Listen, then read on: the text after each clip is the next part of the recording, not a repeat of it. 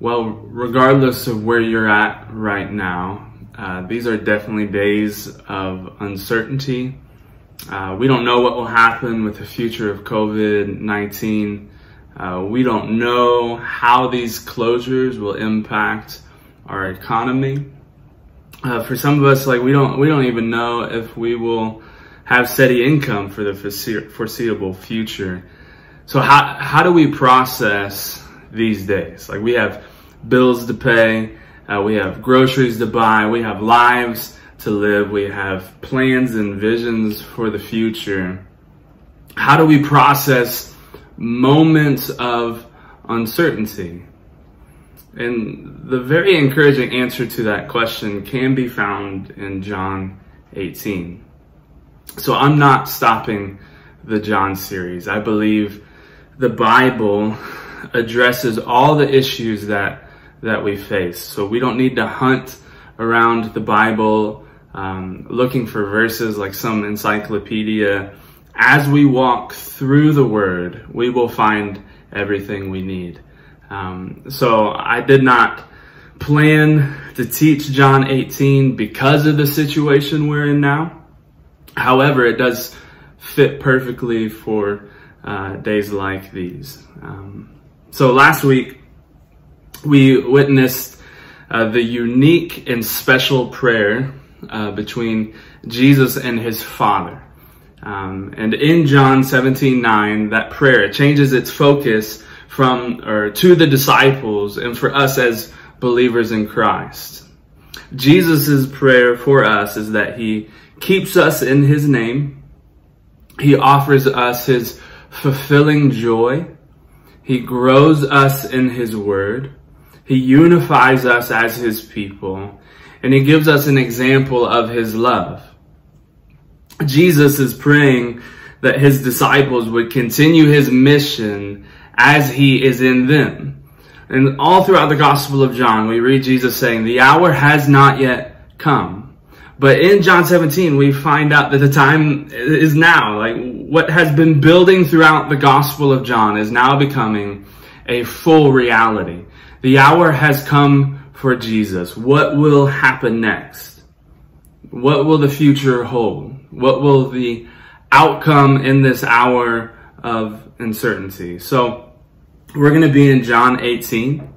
Um, if you have a digital Bible, I'll read out of the ESV. If you downloaded the notes uh, from the church email, you can see all the main scripture in those uh, notes. Can track along, and I think there's a, um, a file in there as well with all the slides, so you can track along that way as well. But before we read John 18, 1 through 11, I'm going to pray uh, for us.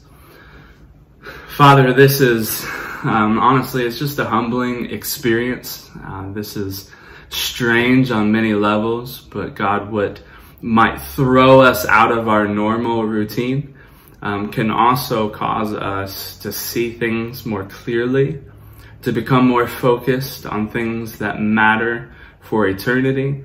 Uh, so God, as we open uh, John 18 together, help us um, just to have a distraction uh, free mind, that the power of the authority of your scripture stands in all ways, in all platforms, and so, God, uh, I just pray that you would speak to us through John 18. We pray these things in your son's name. Amen.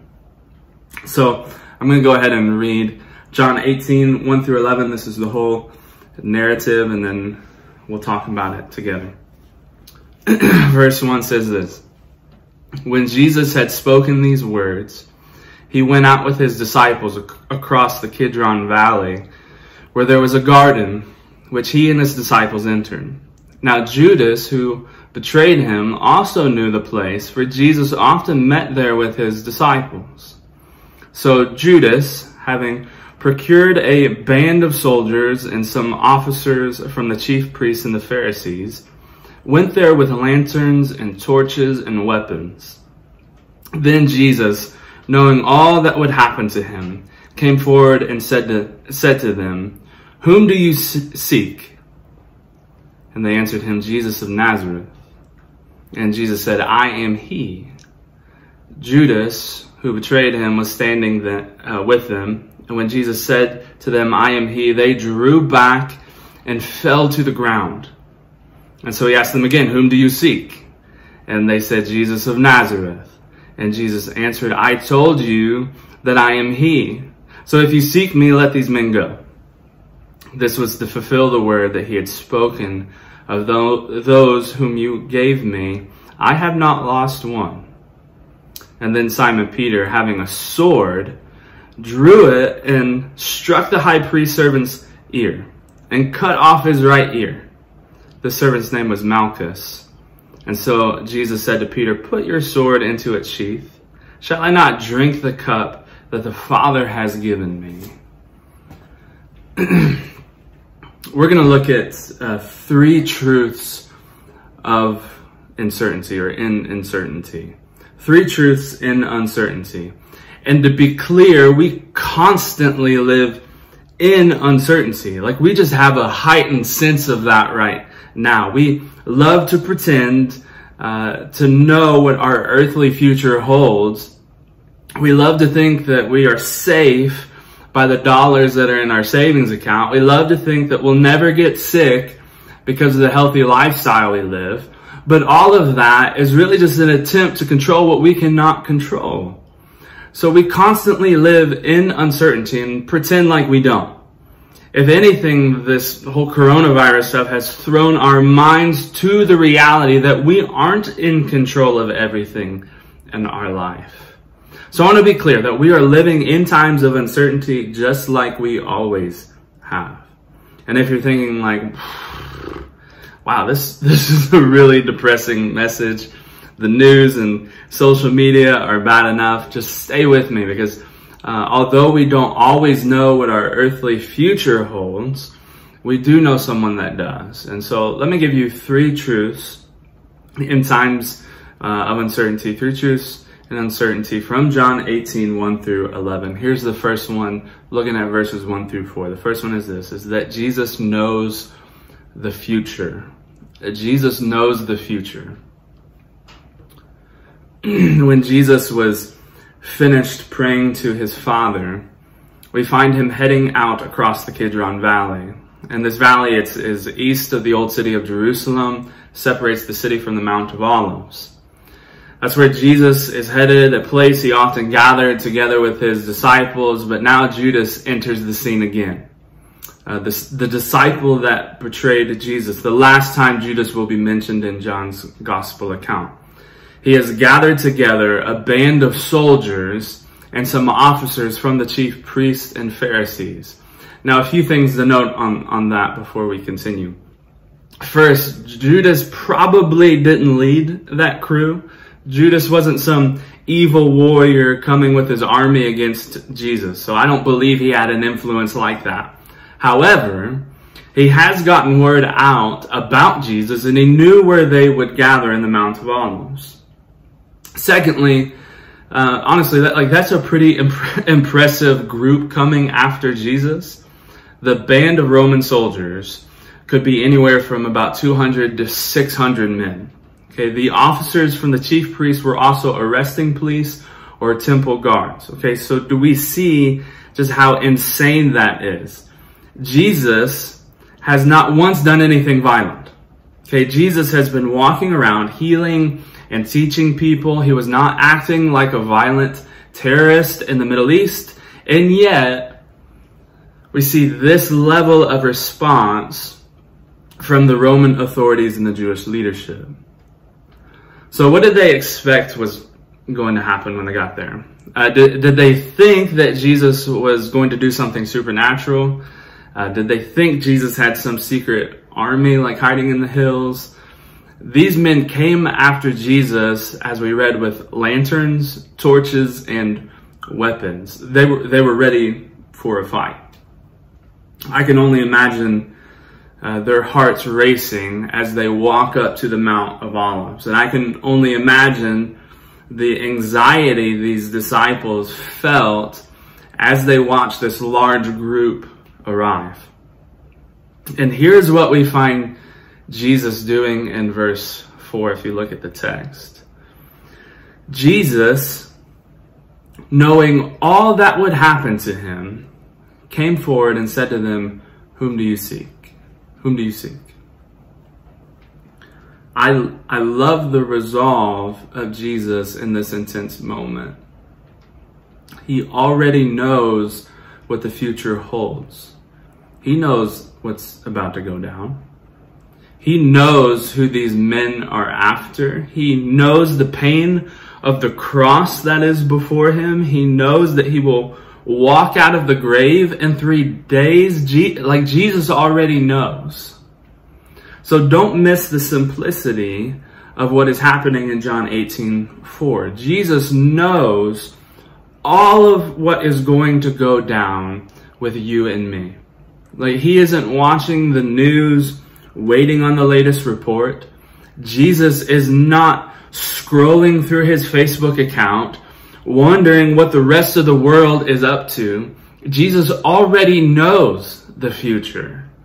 But that's uh, honestly like that's only half the good news because if you look at Romans 8:28, I'll read it. It says, "And we know that for those who love God, all things work together for good, for those who are called according to his purpose. Because we know that Jesus knows, everyone who loves God, all things are for their good, for those who are called according to his purpose. Not everything um, that is happening in the world is for everyone's good, just to be clear about that. Um, if you don't love God, bad things are just bad things. If you do love God, we can trust that bad things are being used for good and for His purpose. And honestly, that may not always feel that way as a child of God. Like it doesn't always feel good to get sick. It doesn't always feel good to get laid off work. It doesn't always feel good to worry about your income, but we believe in Jesus who knows the future and is working all things for good for his own purpose. That's the calm and the resolve that we see from the Son of God. All the disciples see are lanterns, torches, and weapons. All the disciples see are soldiers and temple police. But Jesus sees the future. Jesus knows how it's all going to go down. Jesus knows that everything is working according to his plan for those that love him. You can have that kind of calm resolve today. Trust in G- that Jesus knows the future. Jesus knows the future is the first thing we see in the text. But secondly, verses 5 through 9, here's point number two, is that Jesus has authority over all things. Jesus has authority over all things. The question that that Jesus asked is not honestly it's not one of ignorance but of an opportunity for this crowd to show their cards uh, so Jesus, he asked them at the end of verse 4, who do you seek? And the response in verse 5 is, well, it's Jesus of Nazareth. The response is Je- Jesus' earthly identity. He's the guy from Nazareth. That's, that's who we're coming after.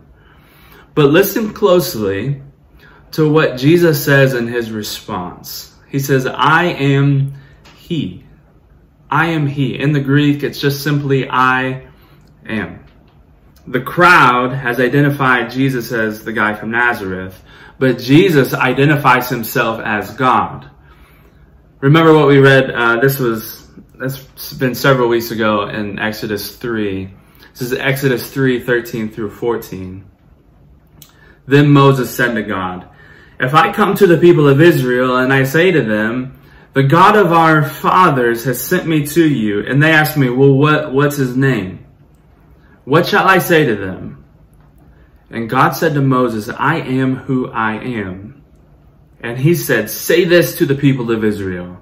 I am has sent me to you.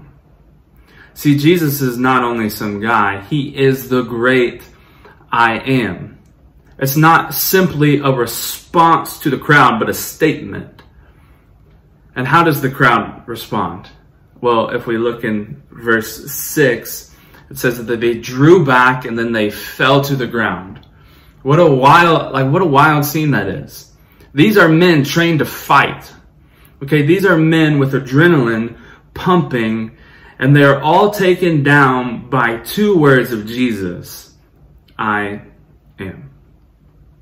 Do not be mistaken who's in control of the situation.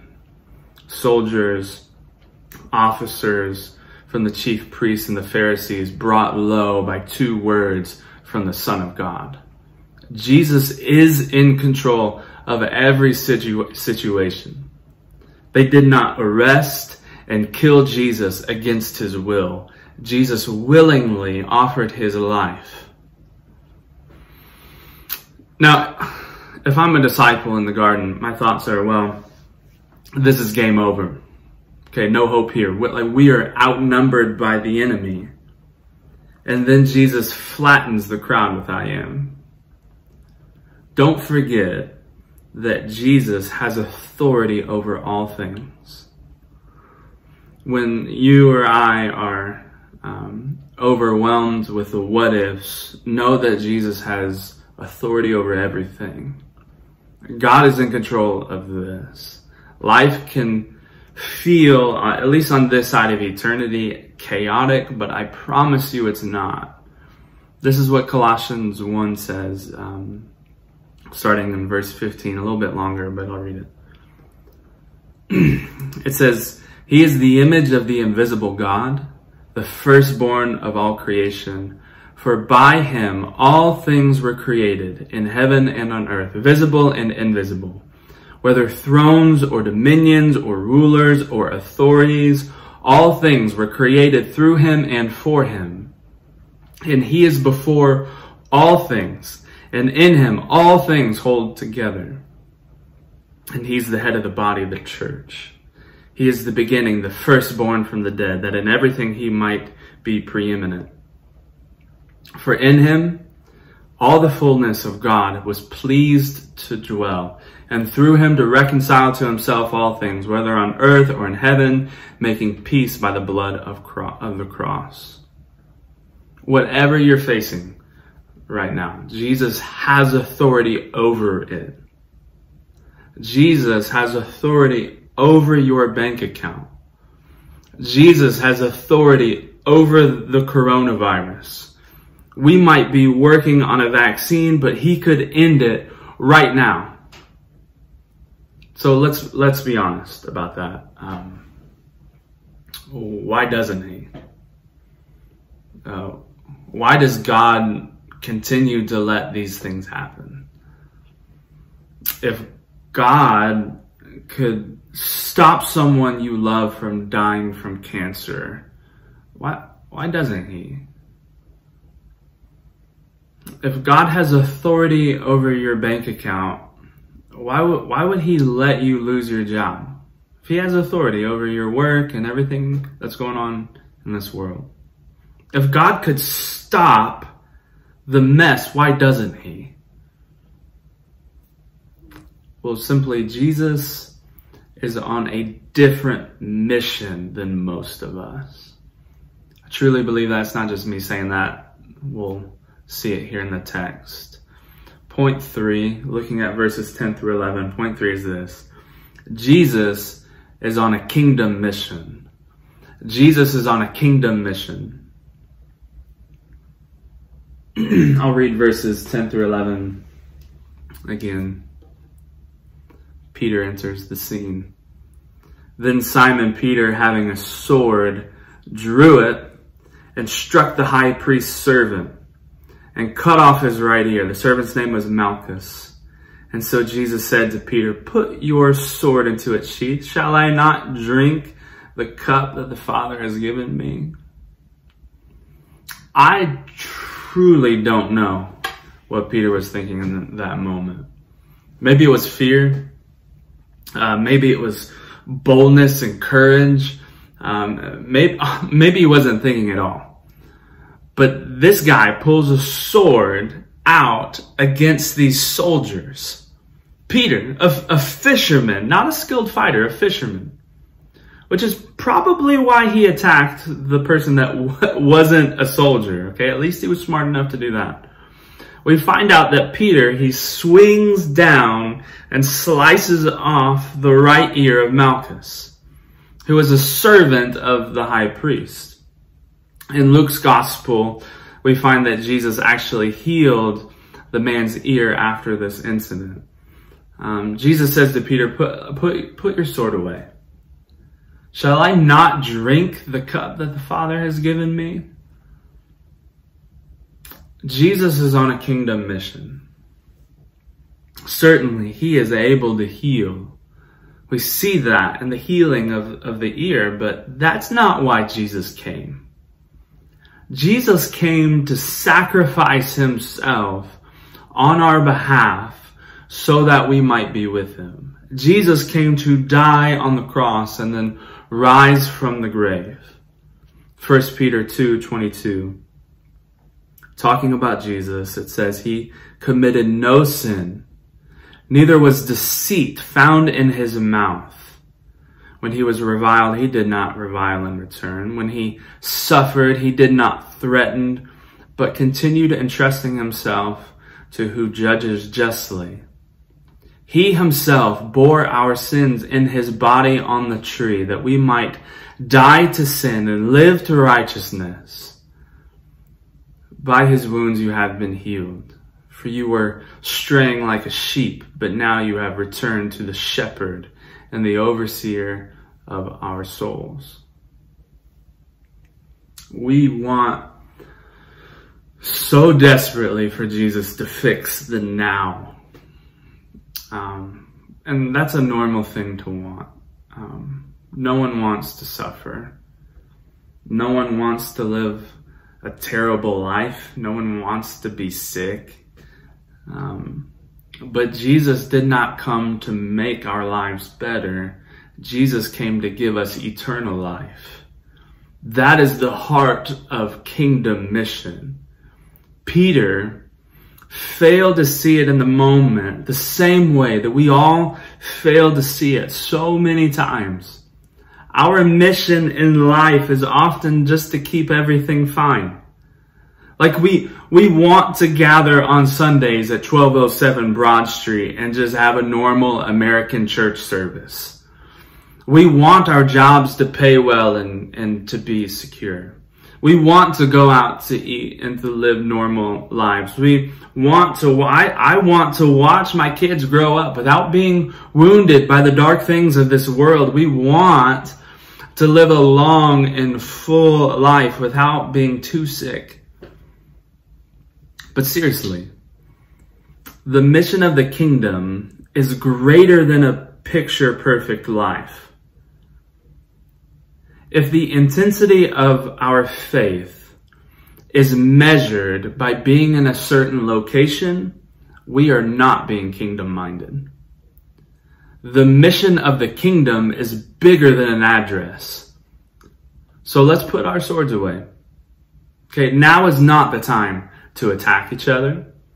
Now is not the time to fight over opinions. Now is not the time to fight for Jesus like he even needs our bidding. The hour has come not to take a religious stand. The hour has come to look to Jesus and focus on his kingdom mission. So East River Park will point people to the mission of Jesus through his word. Always. That's what we're about. Okay. We'll do it when we gather together in a building We'll do it together when we gather in homes. We'll do it together when we gather online and in digital spaces. We will do it even if we have to go into hiding. That's what we're about. This isn't an issue of faith over fear. Church history is littered with faithful believers gathering in homes over fear for their life even Jesus avoided dangerous situations in his ministry, and he has more faith than you and I. This isn't an issue of faith over fear. This is an issue of focusing on the mission of Jesus that takes place everywhere the people of God are. So let's agree. Let's agree um, to put a, our sword away and watch Jesus do what he came to do. This is Revelation uh, 21. It says, Then I saw a, this is Revelation 21, verse 1. It says, Then I saw a new heaven and a new earth. For the first heaven and the first earth had passed away, and the sea was no more. And I saw the holy city, New Jerusalem, coming down out of heaven from God, prepared as a bride adorned for her husband. And I heard a loud voice from the throne saying, Behold, the dwelling place of God is with man. He will dwell with them, and they will be his people, and God himself will be with them as their God. He will wipe away every tear from their eyes, and death shall be no more. Neither shall there be mourning, nor crying, nor pain anymore, for the former things have passed away. And he who was seated on the throne said, Behold, I am making all things new. Also, he said, Write this down, for these words are trustworthy and true. Jesus is in the process of making all things new through his death and resurrection. In one day, not right now, but one day, uh, he will finish setting up his kingdom. It will be a place of no more hysteria, uh, no more tears, no more sadness, no more death, no more struggle, no more worrying about your job, no more viruses, no more anxiety, no more depression or loneliness. So let's be a people of hope. It's true, times are uncertain, but honestly, they always have been. We only know a few things for sure. Christ conquered the grave, and we have eternal victory as his children. Jesus knows the future. Jesus has authority over all things. Jesus is on a kingdom mission. Let's pray as we close.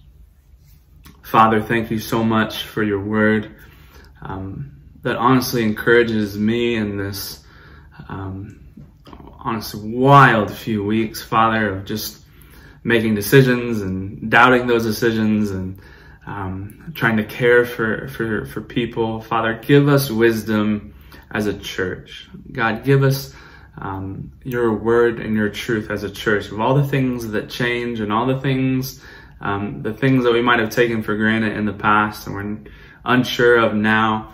God, the thing that never changes is you and your word. So God, help us to stand by your truth. Help us to be a church that loves each other well, um, that speaks to each other well, that loves our community well. Give us wisdom on how to do that. We pray these things in Jesus' name. Amen. Before we're done, um, let me chat with our East River Park family, which I'm assuming is most of us. Um, we love you all very much and we pray uh, often for you. The elders have and continue to, to do our best to navigate these messy waters. And um, so please uh, pray for us in this season. Uh, re- we've reached out to many of our church widows and those that are in need. However, if you ever need anything or if you hear someone within our church body um, that has a need, please contact the church office. The phone number, um, if you don't know that, is 423 542 8783. Pretty sure I got that right. Um, and the email is office at eastriverpark.church and just reach out to us um, and we would love to um, be a service to our church family. Someone in our church sent me an encouraging text this week um, and a portion of that text said this. It says, I know we will be stronger through this and come together with a renewed purpose and a hunger to serve. Um, and I could not agree more. uh, Jesus will get his glory through all of this. So thankful for you all.